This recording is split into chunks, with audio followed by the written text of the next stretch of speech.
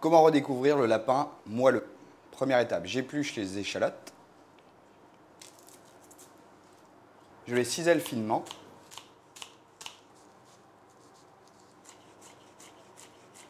J'épluche les champignons de Paris.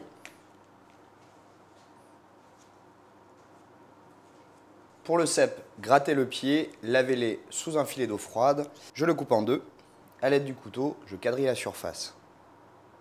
Je taille ensuite les champignons en quartier. Pour les girolles, je retire le pied. Pour les petites comme celle-ci, gardez-les entières. J'épluche ensuite la gousse d'ail. Je la coupe en deux et je retire le germe. Dans une poêle chaude, je rajoute un filet d'huile d'olive.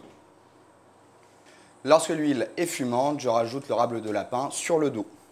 Après une minute, je vérifie la coloration. Si la coloration est correcte, retournez-le et finissez la cuisson deux minutes dans la poêle. Lorsque le rable est rôti des deux côtés, je le retire dans son plat. Dans la même poêle, je rajoute un filet d'huile d'olive, la branche de thym, la feuille de laurier, la gousse d'ail et les échalotes.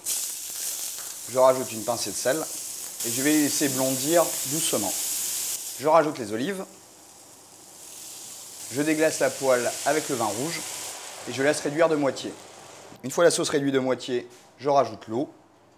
Je porte à ébullition et je le verse sur les rables de lapin.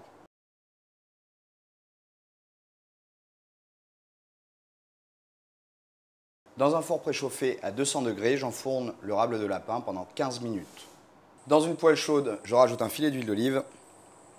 Lorsque l'huile est bien chaude, je colore les cèpes côté face. Lorsque les cèpes sont bien colorés et bien dorés, je rajoute les champignons de Paris, les girolles.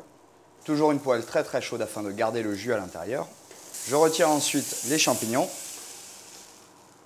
J'assaisonne de sel et de poivre. Je les réserve de côté pour le lapin.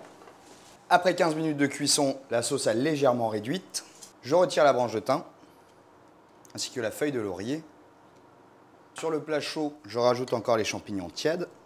Je décore avec une petite branche de thym.